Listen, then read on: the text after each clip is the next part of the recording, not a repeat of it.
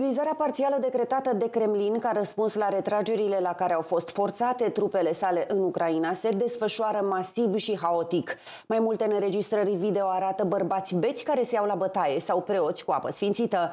Între timp, cel puțin 300 de mii de ruși sunt obligați să se înroleze, însă în Cecenia ordinul nu va fi pus în aplicare, a declarat liderul Ramzan Kadyrov. În tot acest timp, președintele Putin și-a luat un moment de pauză și și-a semnat o majorare majorare de salariu.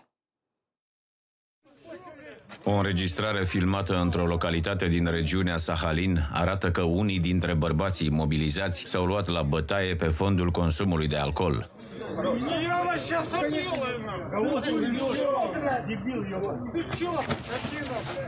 O altă înregistrare video separată distribuită de un jurnalist BBC arată un preot binecuvântând recruții în timp ce îi stropește cu apă sfințită în orașul Lipetsk din vestul Rusiei.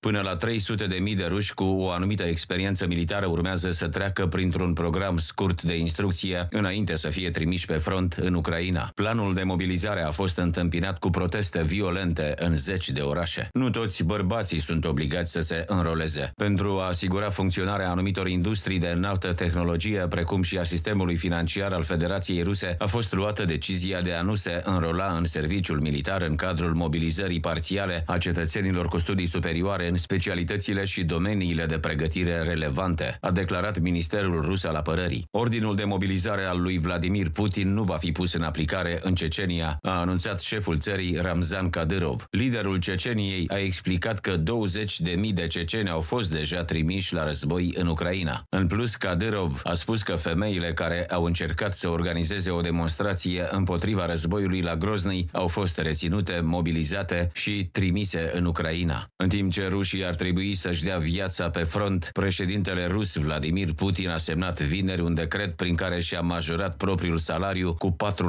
4%, odată cu cele ale altor oficiali de la Kremlin. În declarațiile de avere publicate de Kremlin, Putin figurează cu venituri modeste. Potrivit documentelor, Vladimir Putin a avut un venit anual în 2021 de 10,2 milioane de ruble, ceea ce înseamnă în jur de 112.000 de euro, adică nici 10.000 pe lună.